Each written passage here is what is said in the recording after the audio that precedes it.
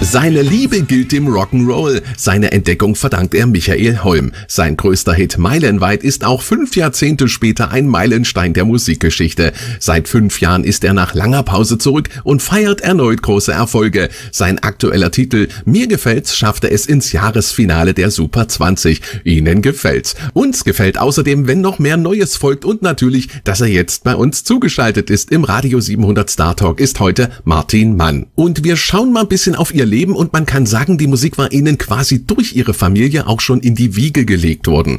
War ihnen schon als Kind klar, ich möchte zur Musik? Ja, meine Eltern, die waren äh, Bühnenkünstler, ähm, international, äh, aber in einem anderen Metier. Ähm, also Ballroom Dancing, Tap Dancing und auch auch Musik auch. Ne? Mhm. Aber ich wollte nie in, in auf die auf die Bühne oder ins Showgeschäft. Da muss ich dann sagen, erst als der Rock'n'Roll aufkam, da hat es auch in mir gerockt und gezuckt. Da, da bin ich dann doch zur Musik gekommen. So ging das los. Ne? Wer waren da Ihre Vorbilder? Wer hat es Ihnen angetan? Elvis Presley, das ist klar. Elvis, ähm, Roller Beethoven, also Chuck Berry, Jerry Lee Lewis. Also das erste Lied, was ich öffentlich gesungen habe, in einem amerikanischen Club, in einer Teenager-Veranstaltung, wo es auch vor mir noch Elvisse gab und so. Und ich kam dann raus und habe gesungen von Jerry Lee Lewis, uh, High School Confidential. Und ich habe mich zu Tode geängstigt mit der Gitarre neulich zum ersten Mal. Aber ich, hat die Leute dann doch sehr, hat ihnen gefallen, muss man so sagen. Ne? Ja, da, so, so fing es eigentlich an. Und ich wollte, wie gesagt, nie mit Musik was zu tun haben aber dann kamen dann die Gene doch irgendwie durch. War nicht gleich erfolgreich, erst Mitte 20. Also. Hm. Gab es denn da nebenbei noch den gut bürgerlichen Beruf oder haben Sie sich gleich voll auf die Musik konzentriert? Es ist folgendes. Ich war auf dem Gymnasium, hm. bin dann vom Gymnasium runter und aber gleich sofort auf äh, hier in Wiesbaden aufs Musikkonservatorium. Und ähm, ich habe, es endete so, dass ich also 16 Semester Musik studiert habe. Ne? Hm. Ich war im selben Institut über vier Jahre Gitarrenlehrer und ähm, so und habe dann langsam so kam ich auf die Bühne. Ne? Also ich habe nichts, keinen anderen Beruf gelernt, sondern immer nur die Musik gemacht.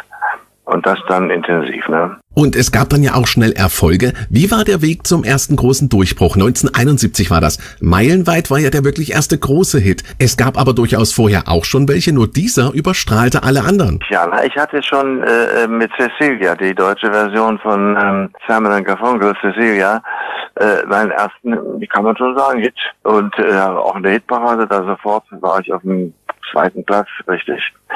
Und ähm, ja, es war so ganz kurz, weil es ist äh, ganz interessant. Ich bin als Entertainer in Varietés aufgetreten, amerikanischen Clubs und so weiter und habe meine Bühnenerfahrung dadurch bekommen. Auch mit meinen Eltern ab und zu mal zusammen aufgetreten.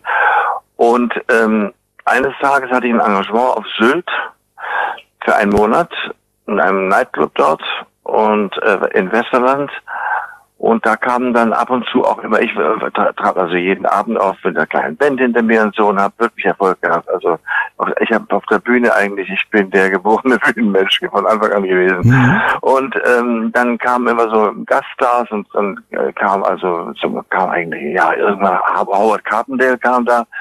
Und da sehe ich an der Theke sitzen vorher drei Jungs und unter einer von denen war Michael Holm. Und der andere war dann, wie später erfuhr, der äh, äh Dieter Viering, Radioexperte und äh, der andere war Produktionsleiter der Zeldec, wie es damals gab, Telefonentdecker. Ne? Und äh, ich, wie ich so bin, bin direkt zu denen hingegangen und habe gesagt, ich, ich hieß damals noch Mario, Mr. Dynamite, bin hingegangen und habe mich vorgestellt und ob sie auch da bleiben können, mal meine, meine Show ansehen. Also besonders Michael Holm.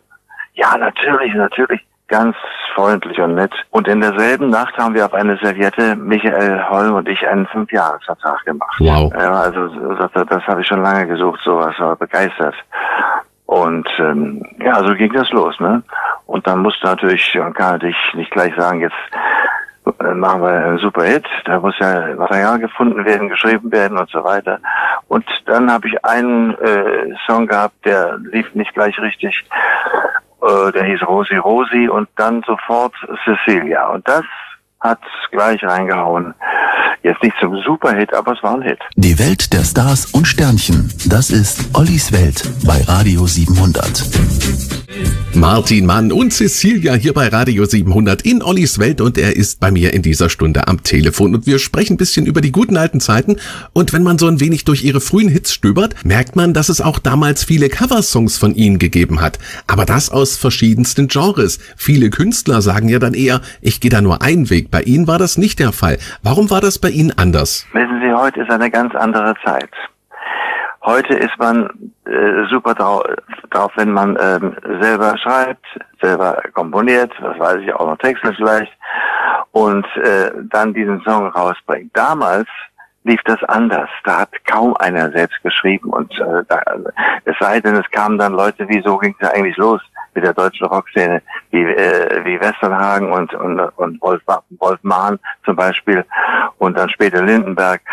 Das war eine andere Zeit damals, war die reine Schlagerzeit. Und da hat ein, haben sie einen Produzenten gehabt und der hat die Lieder gesucht und dann, wenn es ihnen muss ihnen gefallen oder auch nicht, egal. wenn der sagt, das muss, müssen wir machen, haben wir das gemacht. Und so entstanden auch die äh, vielen Songs. Ich habe da also mir kaum selber einen ausgesucht. So kam das halt. Ne? Und dann Michael kam dann eines Tages mit dem Ralf Siegel, Junior hieß er noch damals an, und da sagte er, hör den Mann, der hat was Tolles für dich geschrieben. Und da machte der Ralf, der spielt sehr gut Klavier, äh, am, am Klavier das vor, oh, la, la, la, la, la. und da kam dem Holm die geniale Idee mit dem Wort meilenweit. Ne? Mhm. Das war damals in mit dem Gehe ich für eine Camel zum Beispiel, ne? aber damit haben wir nichts zu tun. Ja. ja, und das hat mir gut gefallen und war ganz toll. Wir haben damals noch auf acht Spur ist das aufgenommen worden noch, ja, das ist unglaublich. Und, tja, dann hatte ich die Idee, mir Hotpants anzuziehen und gesagt einem Interview im Radio bei Heck, Dieter Thomas Heck, ähm, wenn ich mich platziere, ziehe ich das nächste Mal Hotpants an. Und ich habe mich platziert und habe dann Hotpants angezogen und sofort auf eins. Und dann, und dann ging's und das war dann entwickelte sich dieser Song wirklich zu einem Superhit. Hm, meilenweit mit diesem Song bringt man sie ja heute noch in Verbindung, auch 50 Jahre später. Freut Sie das immer noch, wenn Sie von Fans auf diesen Song angesprochen werden oder sagen Sie, nee, darauf habe ich keine Lust, ich habe ja auch noch andere Sachen gemacht? Ähm, es ist so, ich habe ja vor vier Jahren wieder angefangen. Ja. Mit meinem ersten, meine Idee mit Meilenweit nach Mendocino. Das hieß also von Meilenweit Martin Mann bis Mendocino Michael Holm. Ne? Und ich finde, das ist ein tolles Lied. Es hat da sofort auch äh, ein Award bekommen für die beste Neuerscheinung des Jahres und das beste Comeback und so weiter. Und so ging es wieder los vor vier Jahren. Und ähm, damals war ich natürlich auf dem Trip, dass ich auf keinen Fall mehr, das, dann brauche ich nicht nochmal Leute zu singen. Ich war äh, Jahrzehnte auf der Bühne mit tausenden Veranstaltungen und war in der halben Welt, ist unsere Angabe. Und ähm, ich will jetzt einen neuen Start machen. Und da hat mir schon der Michael gesagt, Holm, ähm, das wird sehr schwer werden, also neue eigene Sounds, äh, Sachen zu verkaufen. Mhm. Äh, auch weil du schon älter so alt bist in Gänsefüßchen. Und das äh, hatte mir gerade in einem Gespräch gestern am Telefonat, er ruft mich ja öfters an, äh, eng befreundet, gesagt, nein, das ist Quatsch. Es sind heute so viele Alte, gibt es, äh, das hat damit nichts zu tun. Und ähm, ja, und, und so ging das los und ich wollte ganz weg von Meilenweit. Sie haben völlig recht und habe dann sogar abgelehnt eine Fernsehsendung, ich will jetzt den Namen nicht nennen, wo die wollten nur meilenweit haben. Und zwar habe ich dann noch eine tolle Version eine äh, gehabt und die habe ich ja noch, ähm, wo ich selbst noch ein bisschen nachgespielt habe, Gitarre und so, ein bisschen den Rhythmus des Sounds, eine tolle Version. Und da haben die mich mit auftreten sehen beim, beim Smargo Award und gesagt, das wollen wir haben. Ja, und ich lehne das ab. Ich habe gesagt über meinen Manager damals, nein, nein, ich bin nicht nicht da. Ich habe nicht gesagt, ich mache das nicht, sondern ich habe einfach gesagt, ich bin in Amerika, produzieren in LA und was weiß ich was. Und ähm, da waren die sehr enttäuscht. Aber ich wollte einfach die neue Karriere nicht jetzt wieder auf, auf dem Meilenberg äh, wieder rumreiten. Und haben viele gesagt, es ist ein Fehler. Um Gottes Willen, es war ein Fehler. Nein, es war kein Fehler. Selbst mein Mitwriter äh, Dr. Bernd Meinhold sagt das richtig. Wir produzieren uns auf Deutsch gesagt den Allerwertesten ab Und dann kommst du ins Fernsehen, dann singst du wieder mein, weil ja, die Leute sagten dann, man muss mich wieder sehen und ich war ja jahrzehntelang weg.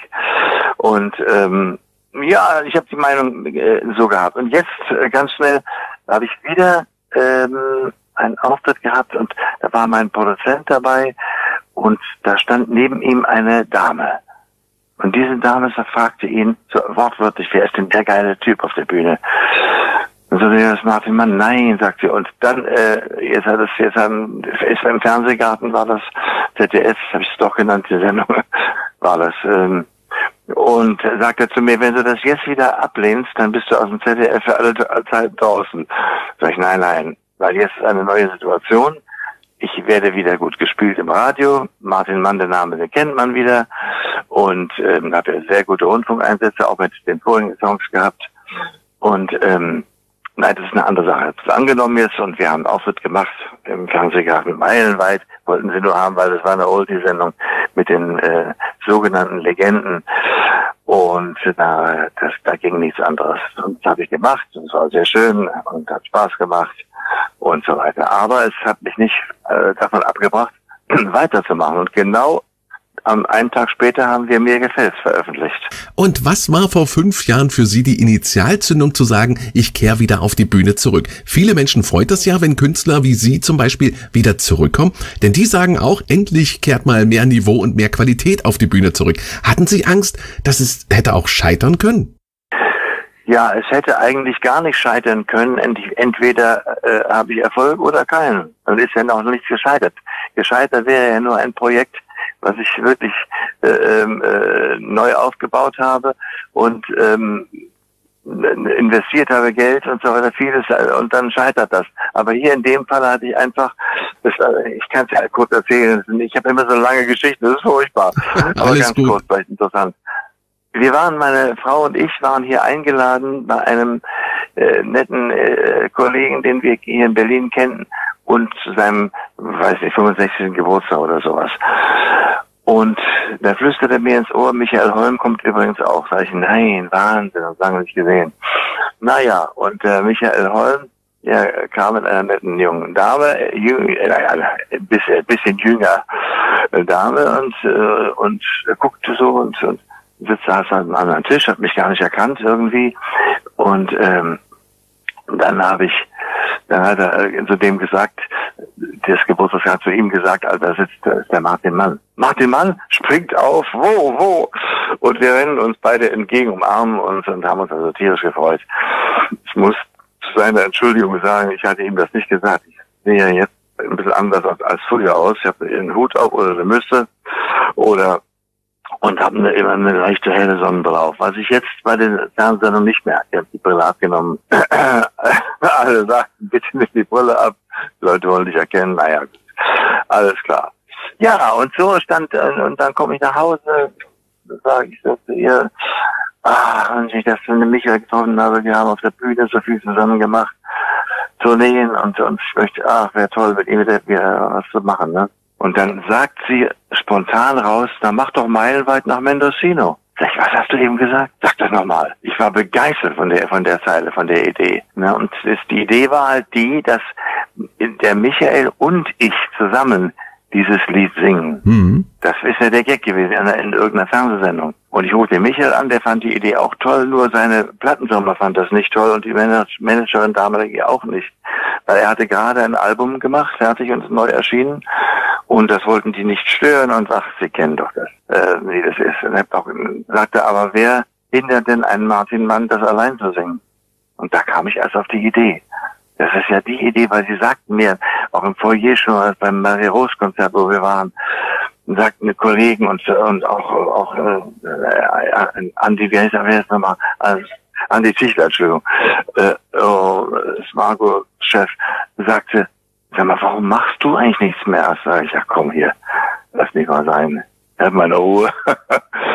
Und äh, das hat mir dann doch gejuckt, ne? Und so entstand das. Und da habe ich das, habe ich das komponiert und Michael Holm wollte es texten, hat aber dann nicht die zündenden Ideen gehabt und dann mein lieber äh, alter Freund, alter in Gänsefüßchen, Dr. Bernd Meinunger, und der rief mich aus Amerika an, weil ich hatte ihm gemailt und sagte, was gibt's? Oh, ich mach sofort. weil der mochte mich immer gern und der mochte halt ein bisschen Sachen, die nicht so nicht nur Schlager sind. Ne? Mhm. Und ähm, ja, hat einen tollen Text gemacht, super Text. Und dann haben wir das produziert. Michael Holm war dabei als ähm, äh, ein bisschen Coach für den Gesang. Und ähm, ja, so, so ging es wieder los. Und dann wollte ich natürlich nur auf meine neuen Sachen äh, äh die Schiene reiten. Als nächstes kam dann alles zurück auf Anfang, ein super Rundfunkerfolg. Und man dachte ja irgendwie jetzt ins, ins Fernsehen und so weiter, aber Holm hat mir schon gesagt, du wirst es sehr schwer haben, heutzutage Fernsehen zu kriegen. Es ist eine ganz andere Welt geworden. Er hat mir das ein bisschen erklärt. Und es gibt nicht mal mehr Singles zu kaufen, ja, sondern nur noch Alben. Und ähm, naja, und bis ich da so vom Denken her reinkam, hat es ein paar Tage gedauert. Und wie gesagt, und jetzt dann, äh, nachdem ich zwei, drei Jahre dabei war wieder, und dann kam dieses Angebot und das war eine andere neue Situation. Wissen Sie, da kannte man, äh, da wo man mich kennen konnte überhaupt nur im Rundfunk im Augenblick und da kannte man mich wieder, den Namen Martin Mann, ja.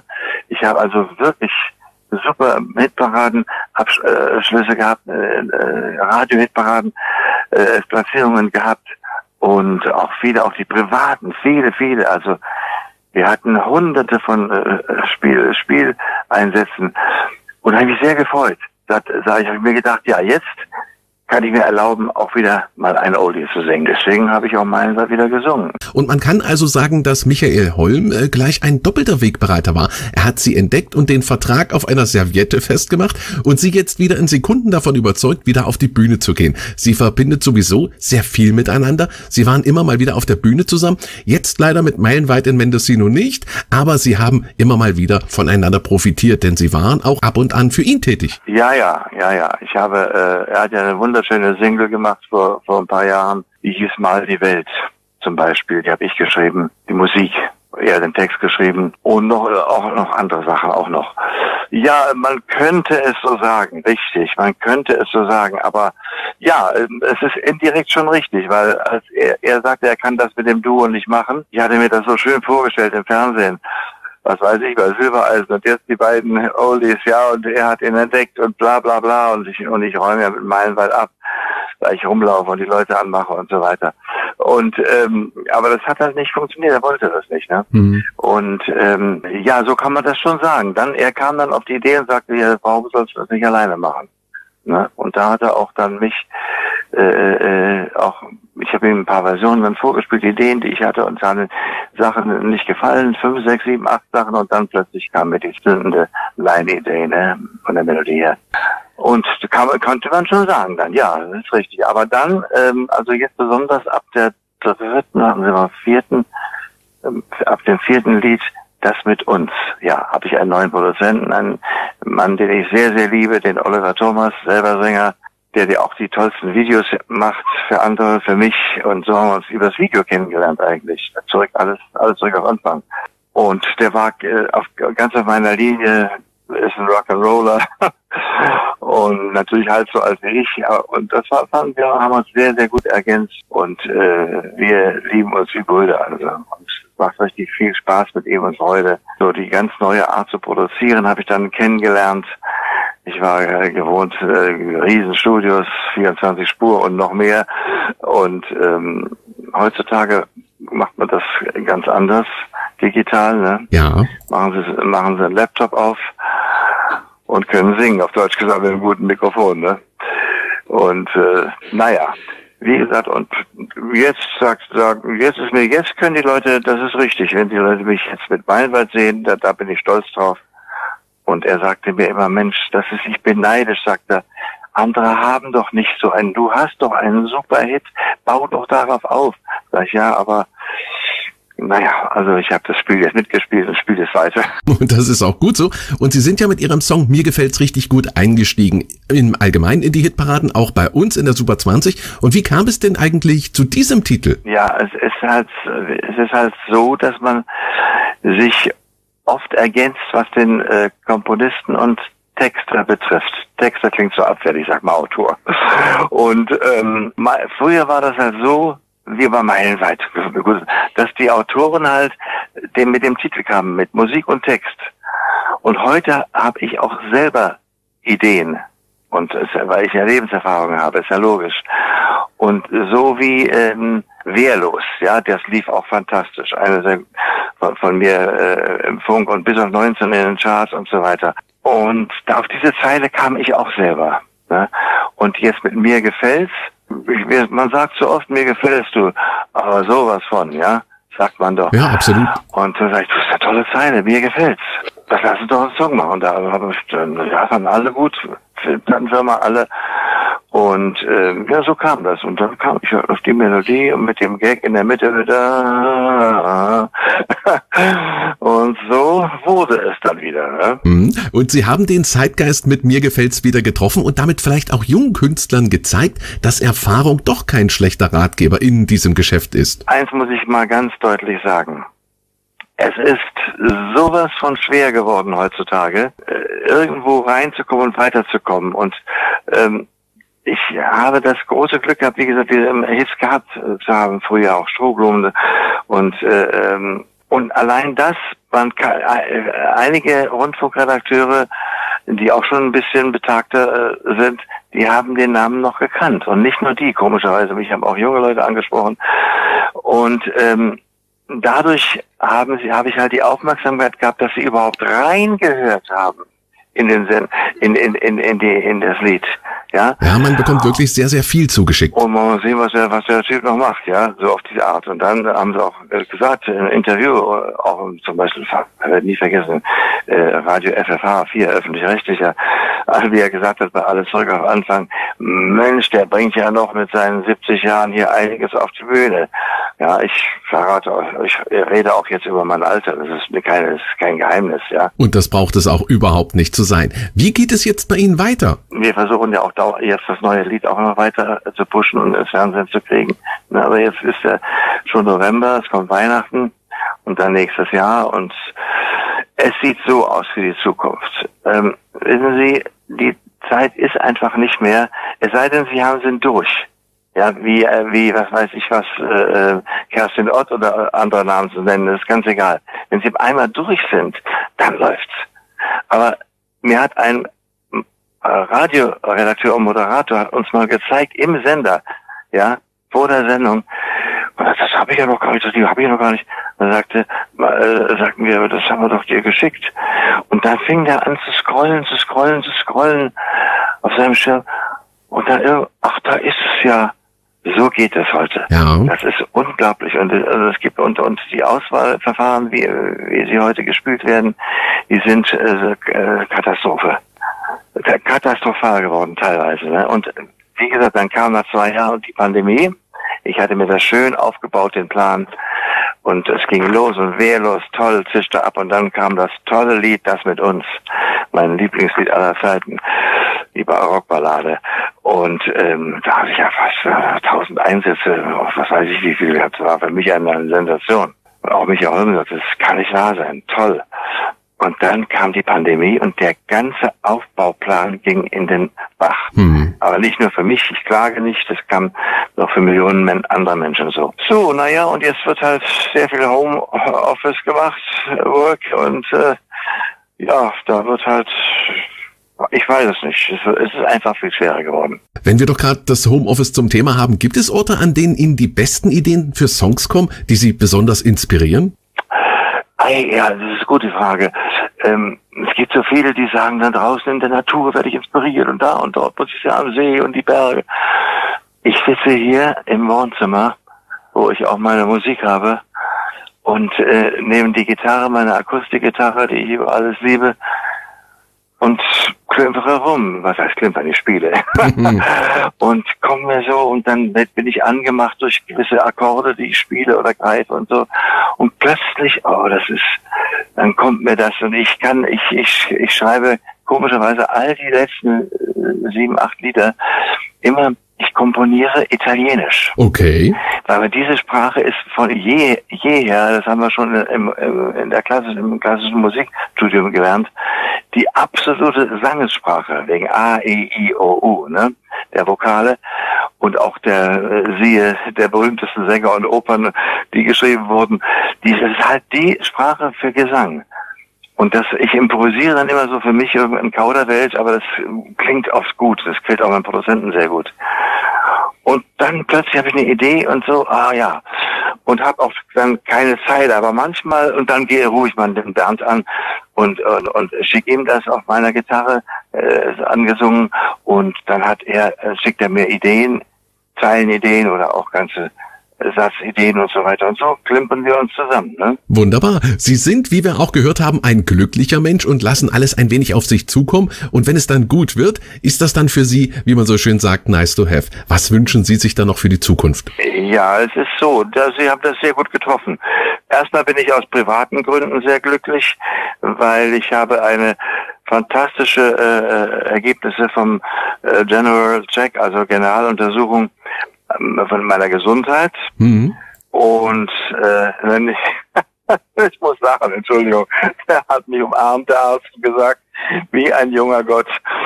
Unglaublich. Und die Werte, also das ist ja nicht zu fassen. Also ich habe mich gut gehalten. Durch, den, durch die vielen Bühnenauftritte tausend der, ich, wir haben nie früher, ich habe auch mit Michael gestern gesprochen aus Spaß, diese, wir haben uns nie früher ins Fitnessstudio begeben und gedehnt und gemacht und gezogen und gezerrt. Haben was, schau auf die Bühne, Gitarre raus und Ballon ging's los, ja. Und ähm, gut, wenn man älter ist, muss man sich immer schon ein bisschen vorher äh, was tun, Fitness. Und ich habe hier auch mein kleines, äh, meine Sauna, meine eigene kleine Sauna und mein paar Geräte und äh, Fahrradchen und gehe viel spazieren und toi toi toi bin gut drauf, mir geht's gut und deswegen bin ich äh, fröhlich und happy. Wenn jetzt noch auch noch beruflicher Erfolg dazu kommt, ja, und so nette Menschen wie Sie sich melden und dann mir ein tolles Interview machen und mich stundenlang labern lassen, dann strahle ich natürlich. Ja. So soll's auch sein. So, unsere Sendezeit rennt ein bisschen davon. Wenn Sie jetzt noch Lust haben, können Sie ein paar Worte an unsere Hörer und Ihre Fans richten. Ja, hallo, hier ist Martin Mann. Ich begrüße und bedanke mich gleichzeitig bei allen Hörerinnen und Hörern äh, von Radio 700 in Belgien, was ja auch sehr äh, nach Deutschland äh, ausstrahlt und viel von Deutschen gehört wird und alle belgischen Hörer auch natürlich, das ist ja logisch. Und ähm, wünsche Ihnen, dass mit Ihrem Radio 700 zusammen, dass das noch ganz äh, groß, noch größer weg anwächst, natürlich mit Ihrer Hilfe und würde mich freuen, wenn Sie auch ab und zu mich mal hören wollen, ja? Ich bedanke mich bei Ihnen, Ihr Martin Mann. Dann bedanke ich mich recht herzlich für Ihre Zeit und wir von Radio 700 wünschen Ihnen nicht nur ganz viel Gesundheit, sondern auch richtig viel Erfolg mit all Ihren Songs und Auftritten in Zukunft. Dankeschön, Martin Mann. Tschüss.